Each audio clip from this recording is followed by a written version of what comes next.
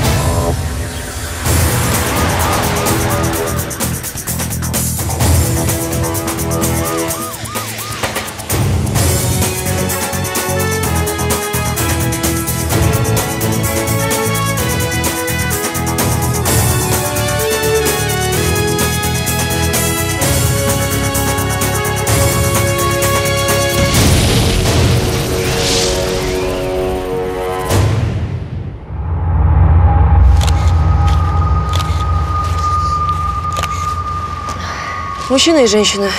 Все, что можем пока сказать. Документы, естественно, не сохранились, все сгорело. Руки, лица, тела очень сильно обгорели, мы даже пальчики здесь снять не сможем. А по показаниям очевидца, взрыв произошел около 20.00, причем прямо на ходу.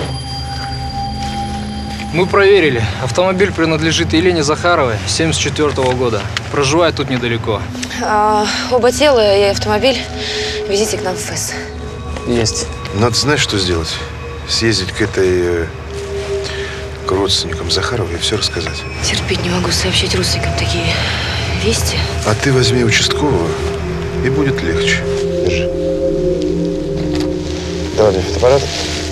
Я здесь закончу, а ты поезжай.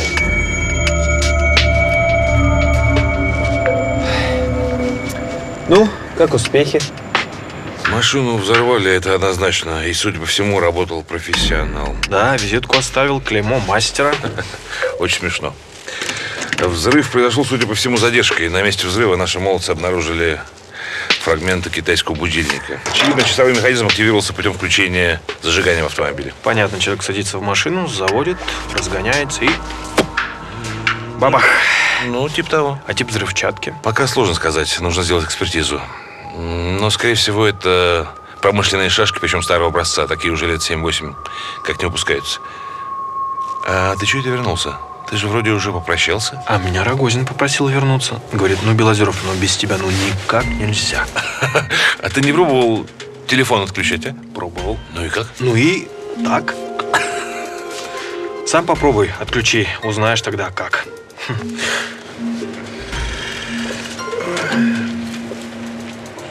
Сейчас, Галина Николаевна, одну минуту. Значит так, а, участковый прекрасно знал Захарову, она работала у них в районе инспектором исполнения наказаний. Да, присматривала за условно осужденными, условно освобожденными. Жила одна, семьи у нее нет. Я пальчики и полотенце из ванны для сравнения ДНК взяла, а в квартире ничего интересного, кроме сейфа, нет. Вот сейчас как раз вскрываем.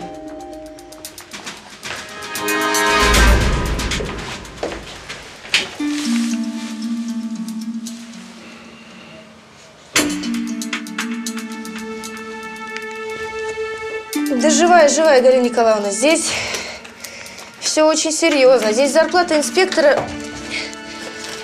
лет за 300-400 безупречной службы. Давайте я вам перезвоню. А это что? Золото. Погибшая Захарова Елена Борисовна. 34 года родилась в Магаданской области, городе Золотогорске. Закончила юрфак, работала в Золотогорской прокуратуре следователем.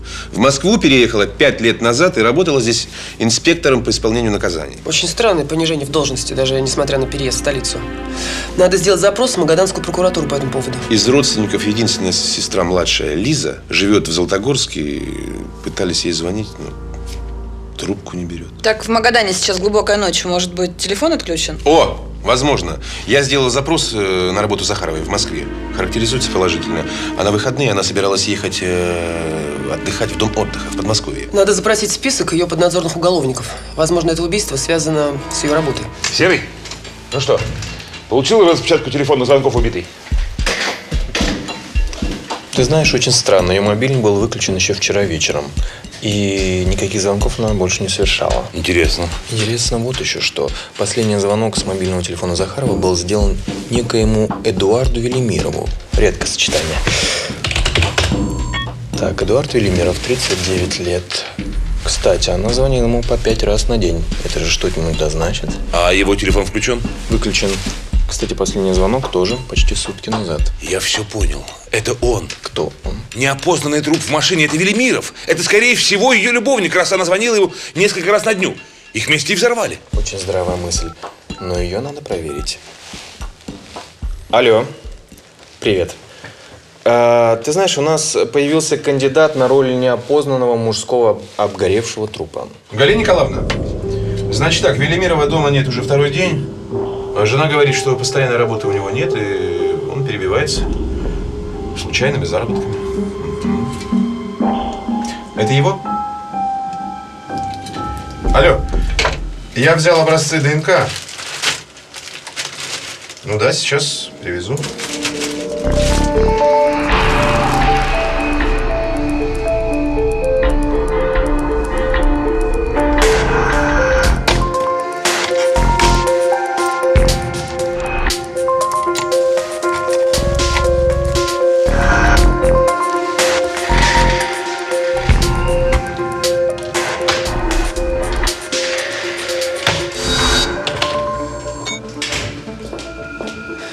Образцами? Образец полотенца, который нам привезли из квартиры Захарова, я уже почти обсчитал. А вот образец Велимирова я только поставил. Что? Какая-то ерунда. ДНК трупа Захарова не совпадает с ДНК, изъятым из ее квартиры. А что за образцы изъяли из квартиры? Полотенце, зубную щетку. Щетка была одна, полотенце одна. Остается только одно. В машине взорвалась не Захарова. ДНК Велимирова тоже не совпадает. У нас в морге совершенно другие люди.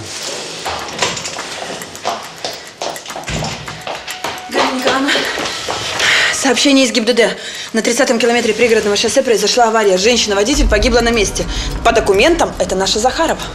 Э, Машину и труп они увезли к себе, начали разбираться и узнали, что этим делом занимаемся мы. Значит так, пусть все везут к нам. Машину на экспертизу, труп в морг на вскрытие. Я что-то не поняла. Ну, Захарова же у нас в морге. Алочка, концепция поменялась.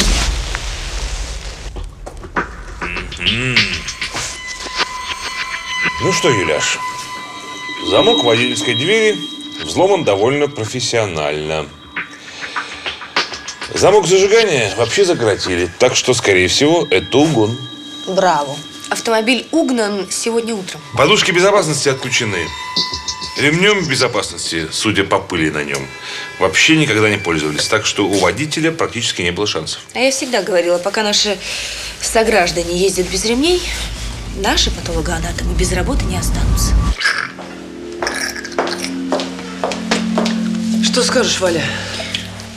Смерть наступила из-за разрушения шейных позвонков, произошедшего из-за их резкого горизонтального смещения. А данное разрушение повлекло за собой несовместимую жизнью травму спинного мозга. Разрушения наступили в результате ДТП? Ну, что сложно сказать. Если водитель был не пристегнут и в момент удара вот так вот повернул голову, то вполне может быть. А точное время смерти? Около 18. Как 18? А ты ничего не путаешь? Я. Наши эксперты говорят, что бортовой компьютер автомобиля показал время аварии 20.57. Галя, она умерла сегодня в 18 часов. Плюс-минус 20 минут. Это задачка для третьего курса медицинского института. Вальчик, ну извини. Я не хотел тебя обидеть. Я не обижаюсь. Надо еще раз все проверить. Там недалеко пост ГАИ. Возможно, у них на камерах есть эта машина.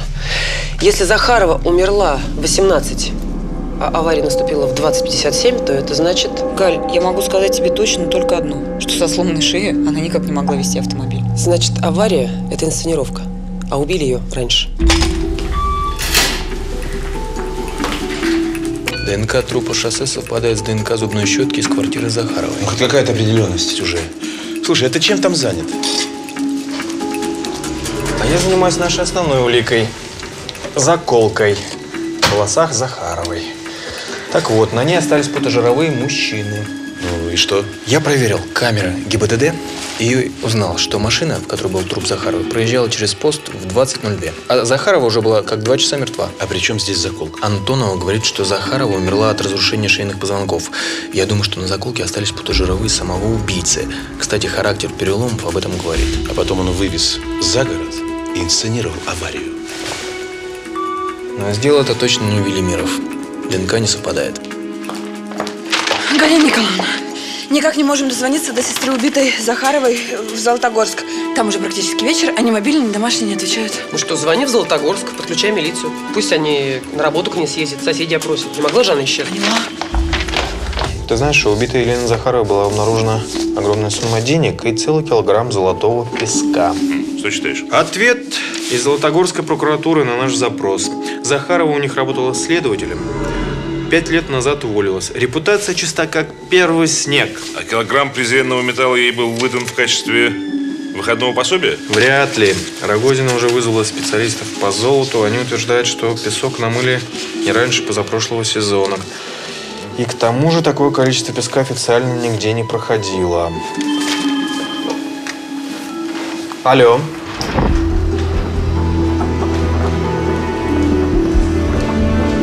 Галина Николаевна. Что?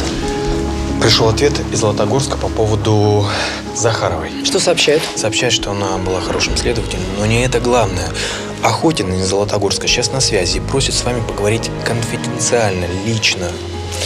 И включить ему видеоканал через интернет. Так, ну что, давай сюда, в переговорную. Здравия желаю, товарищ полковник. Я Василий Охотин, следователь Золотогорска района прокуратуры. Это я готовил ответ на ваш запрос по поводу Елены Захаровой. Мы его получили, спасибо. Э, Мне сказали, что вы хотели что-то сообщить мне лично. Да, я много хорошего слышал про вашу службу и о вас лично. Поэтому решил, что будет нечестно ограничиться простым, формальным ответом. Дело в том, что там не вся правда. В каком смысле? Ну, не то чтобы там неправда, но вы должны знать. Пять лет назад у нас в районе было громкое так называемое «золотое дело». Судили организованную преступную группировку, занимающуюся нелегальной скупкой и вывозом на материк золота. Так-так, очень интересно. Так вот, Елена Захарова была под подозрением в причастности к этой истории. Официально проверку не проводили, но из прокуратуры она тихо уволилась и переехала в Москву. Почти всю группировку по тому золотому делу тогда посадили на разные сроки. Материалы нашей местной прессы я вам выслал. Это начальство велело вам скрыть информацию? Нет, информации по Захаровой как таковой официально нигде нет. Это все на уровне слухов. Вы же понимаете, городок у нас маленький. Но тем не менее вы звоните из дома, а не с работы. У меня к вам будет просьба. Да, конечно. Мы не можем найти сестру Захаровой, Лизу Захарову.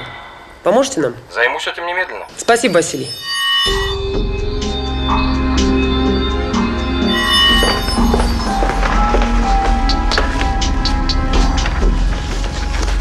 Это статьи из магаданских газет про то самое золотое дело. Охотин прислал из Золотогорска.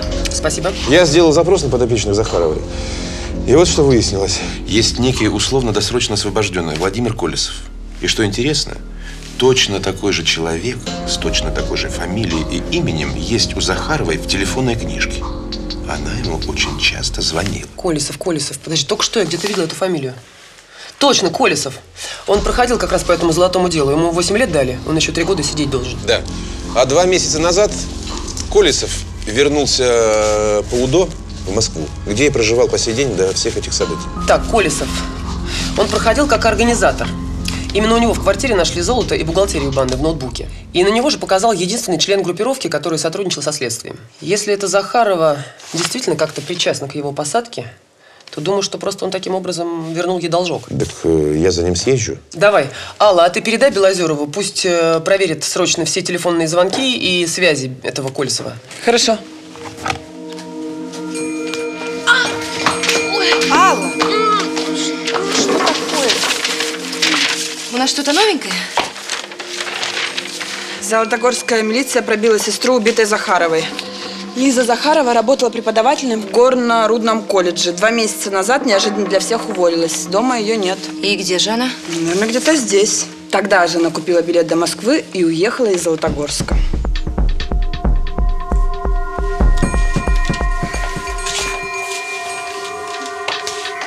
Так, это я виноват в ее смерти, мне незачем больше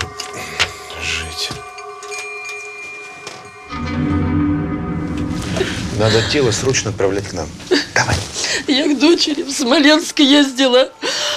Приезжаю, а мой Вовочка висит. Это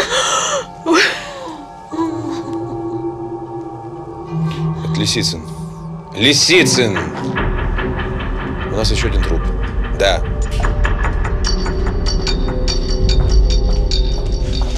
Еще одно убийство? Я бы сказала самоубийство. По крайней мере, никаких признаков постороннего вмешательства я не нашла. Странгуляционная борозда косовосходящая, подъязычная кость сломана именно так, как если бы он сам покончил с собой. А синяки, ссадины? Может, тебя заставили это сделать или силой повесили? Я осмотрела все тело, никаких свежих следов нет. Ни царапины. Ну хорошо, а время смерти? По моим подсчетам, примерно 19-19.30 вчера. Постой, Захарова убили в 18 часов. Значит, Колесов теоретически мог это сделать. Теоретически мог. Но сам Колесов умер в 19.30. И он никак не мог вывести тело Захарова на 30-й километр и сымитировать аварию, которая произошла в 21 час. Что-то не срастается.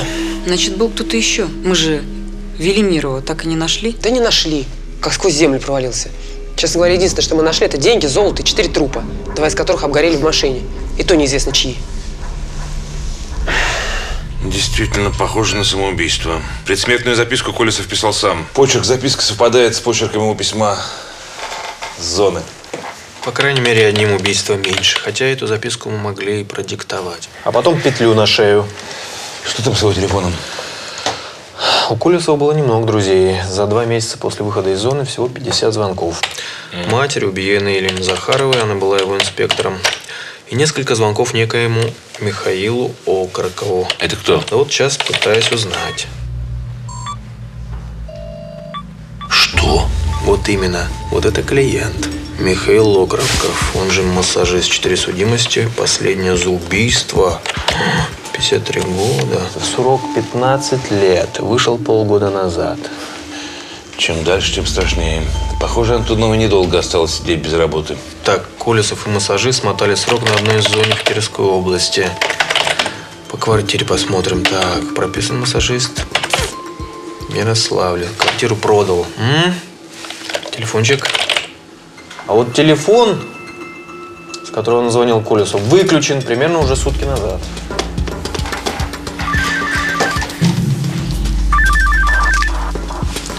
Алло. Да, здравствуйте, Василий. Как там погода на солнечной Колыме? Нет уж, лучше вы к нам. Благодарю. Хорошо. Оставайтесь на связи.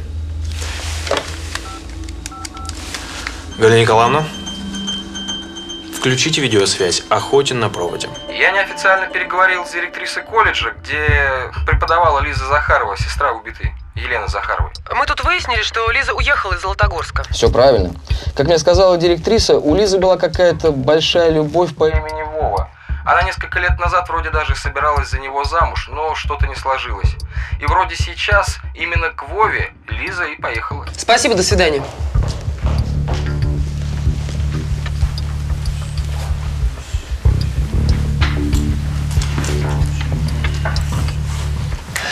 Итак, что мы имеем на сегодняшний момент по делу Захарова? Кто начнет? Разрешите я? Вчера вечером машина Елены Захаровой была взорвана недалеко от ее дома. При взрыве в машине погибли мужчина и женщина. Их личности не установлены. Через несколько часов труп самой Елены Захаровой был обнаружен со сломанной шеей в разбитой угнанной машине возле пригородного шоссе. Кто-то очень сильно хотел выдать ее смерть за обычную аварию. А сегодня мы обнаружили труп знакомого Елены Захаровой, некоего Владимира Колесова, который предположительно повесился. Плюс ко всему у нас есть огромная сумма денег в домашнем сейфе Захаровой, килограмм золотого песка непонятного происхождения. Ну и это мутная история о причастности Захаровой к преступной группировке в Золотогорске пять лет назад. Мы до сих пор не нашли сестру убитой Лизу и предположительно любовника Захарова Велимирова. А по поводу Лизы Захаровой у меня есть предположение. Как только что сообщили из Золотогорска, у Лизы был любимый в Москве по имени Владимир. Возможно, это и есть наш Колесов. Товарищ полковник, разрешите обратиться? Тут к вам женщина приехала, говорит срочно, по делу о взорванной машине. Кто такая? Захарова Елена Борисовна. Час от часу не легче.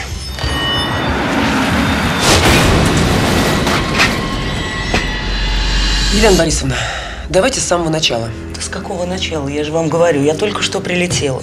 На выходные решили с Эдиком в Эмираты слетать, погреться. Задолбала эта зима. Прилетаю, квартира опечатана, машины нет. Захарова и Велимиров в пятницу улетели рейсом Москва-Дубай. Сегодня прилетели обратно. Раньше надо было проверять. Раньше, раньше. Раньше они у нас в морге лежали. Я в милицию. Они меня к вам и направили. А где сейчас ваша сестра Лиза? Должна быть дома, ждать меня. А она живет в вашей квартире? Ну да. А где ей жить? Я понял.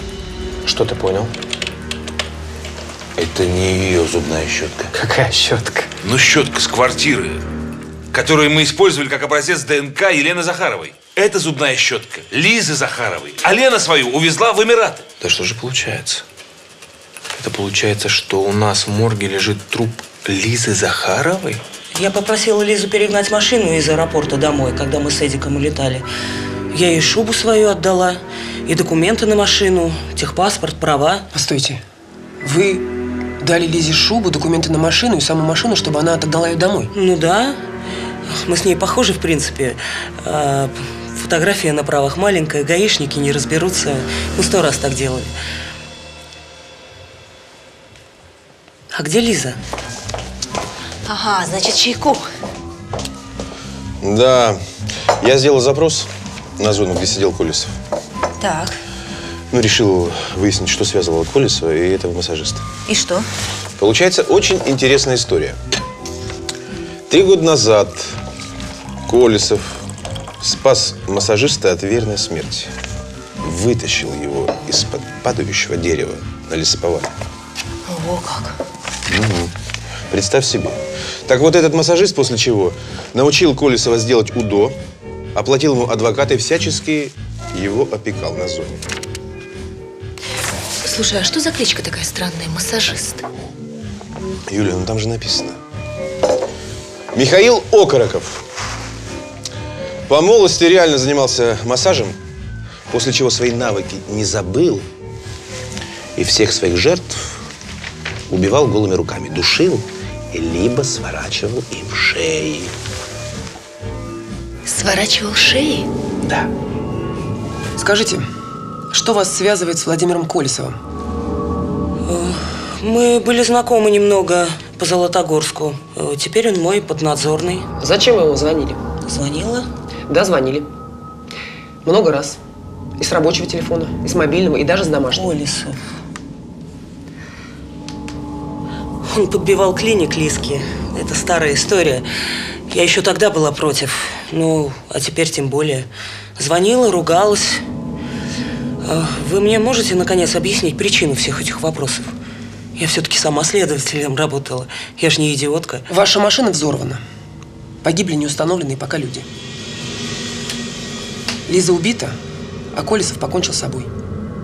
У вас есть какая-нибудь версия, кто мог это организовать? Нет, нет у меня никаких версий. Если нет вопросов, я, я поеду домой. Я устала с самолета. Мы еще не закончили.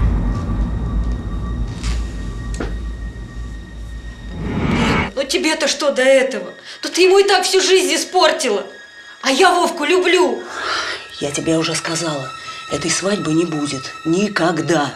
Пока я жива, я этого не допущу. Ну, Лена! Все, я сказала. Если узнаю, что он тебе еще хоть раз звонил, Я его отправлю обратно на зону. Срок досиживать. Рука не дрогнет. У меня появилась более-менее связанная версия случившегося. Освободившись из тюрьмы, Владимир Колесов решил возобновить отношения с Лизой, сестрой Лены Захаровой. Лиза, судя по всему, этого тоже хотела.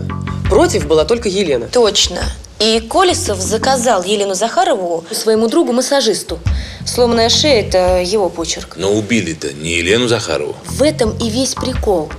Массажист мог, ну, скорее всего, он убил Лизу по ошибке, когда увидел ее в Елениной шубе и в Елениной машине. После этого массажист везет труп заказчику, Колесов. А Колесов, понимая, что это он виноват в смерти Лизы, пишет предсмертную записку и кончает жизнь самоубийством.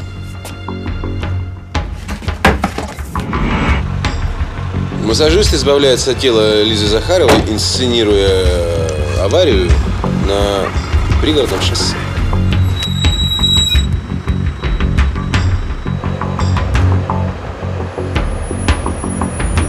А кто тогда заминировал машину Елены Захаровой? И что за люди в ней погибли? Елена говорит, что понятия не имеет. О золоте и о деньгах э, в своем сейфе она тоже понятия не имеет?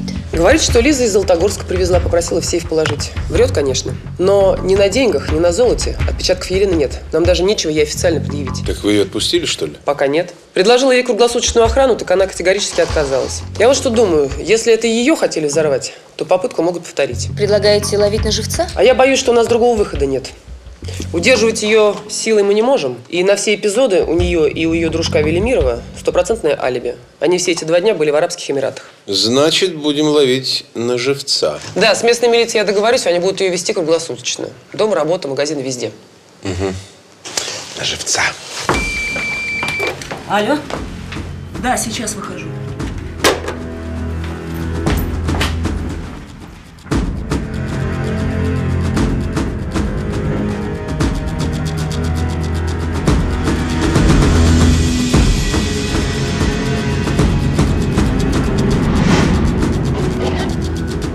Ты подъезд проверял? Проверял. Еще вчера. Плохо дело. Пошли.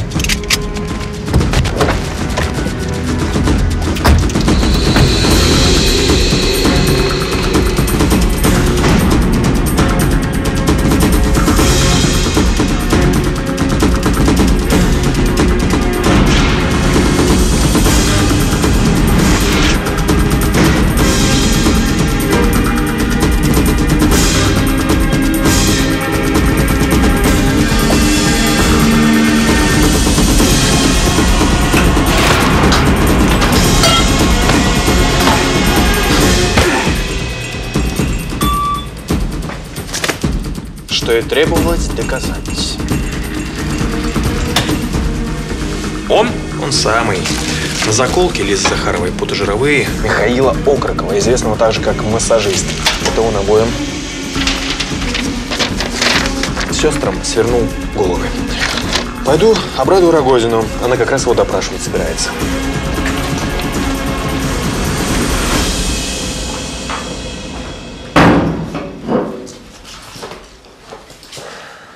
Я изучила вашу уголовную биографию, Окурков. И мне почему-то кажется, что разговор у нас с вами не получится. Хотя этого уже не требуется. Ваша вина полностью доказана. Вы обвиняетесь в убийстве Елены Захаровой, которую вы убили сегодня, и Елизаветы Захаровой, которую вы убили вчера. Вот результат экспертизы. Да спрячьте вы свою макулатуру, полковник. Я все подпишу. Первую я по ошибке мочканул, виноват. А вторую должок мой был.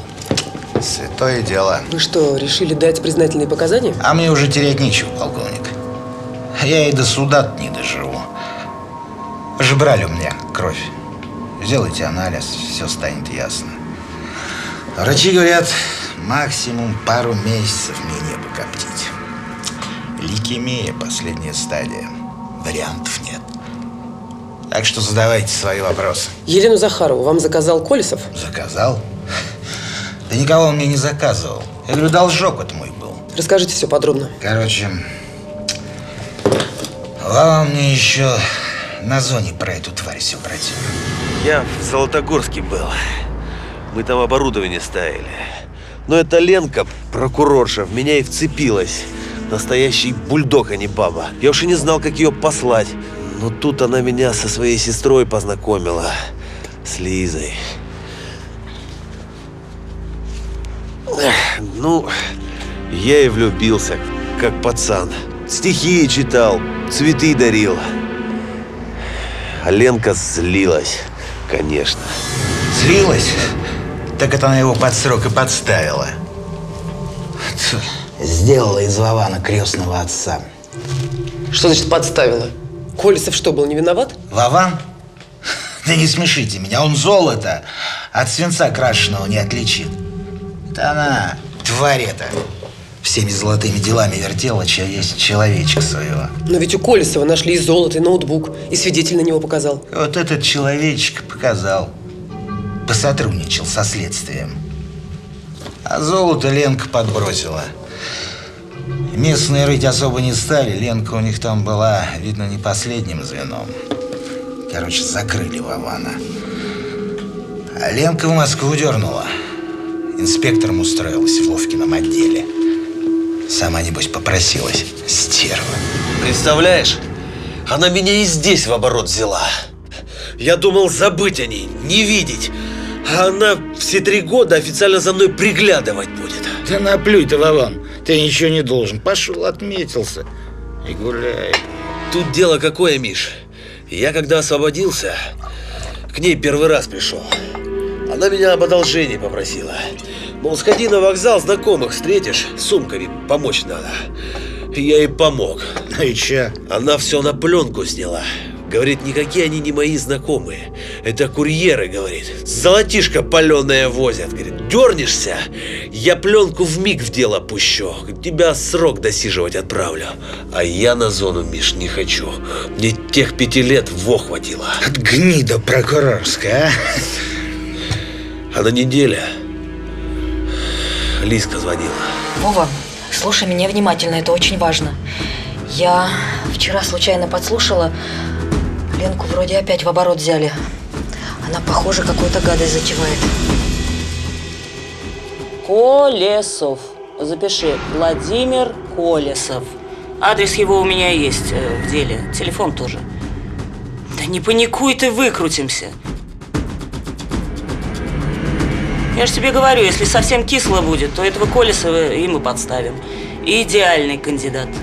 Я его так однажды в Золотогорске уже использовала. Да, завалим его. На него все оформим. Никто разбираться-то и не будет. Уголовник есть уголовник. И запросила Колесова в милицию идти или из Москвы уезжать. И вы решили другу помочь. Так я ж ему должен был. Вован меня на зоне с того света вытащил. А помирать должником как-то не очень приятно. Короче, решила эту гадину грохнуть.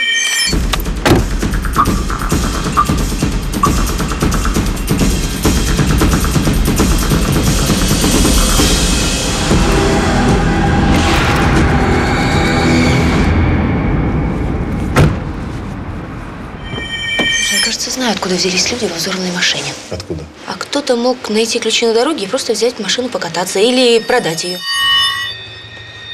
Я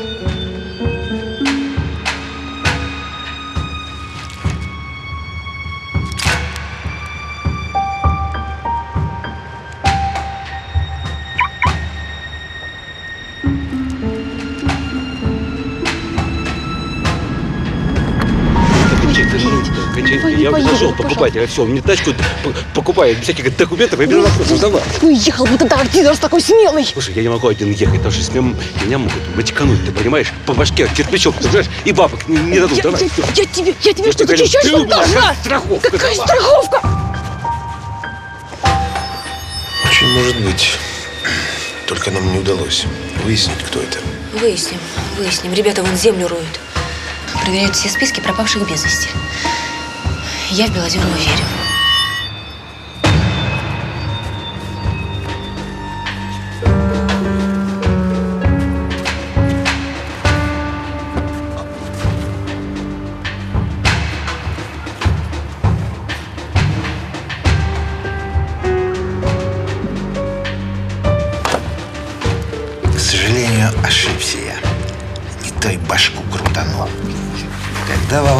Привез, он чуть с ума не сошел. стал орать, что это не она.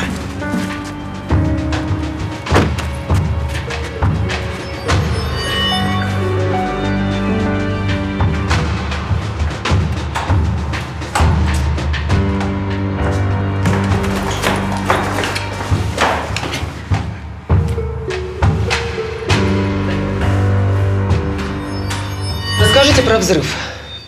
Какой взрыв? Через час после убийства Елизаветы Захаровой, которую вы приняли за Елену, ее машина взорвалась. Это не ко мне.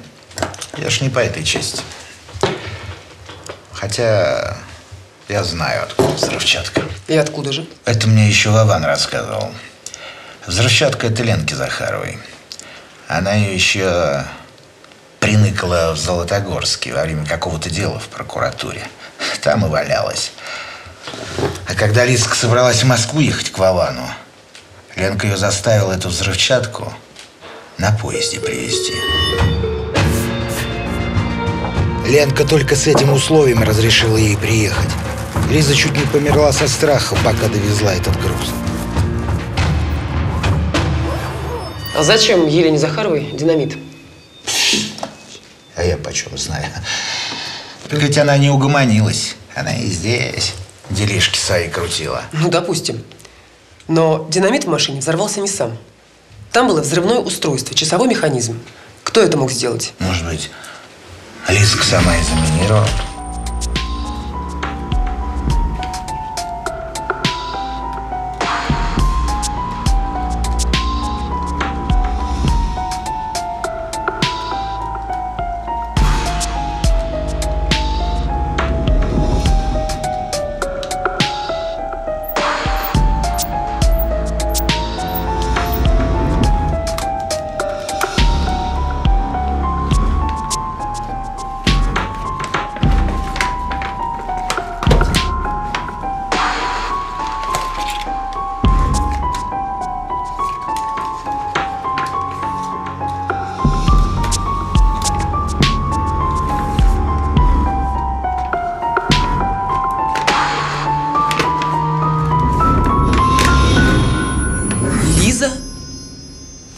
Что, хотите, чтобы я поверила, что простая преподавательница колледжа соорудила бомбу с часовым механизмом? А вы бы хотя бы поинтересовались, что она преподавала в своем горно-рудном колледже-то. Что?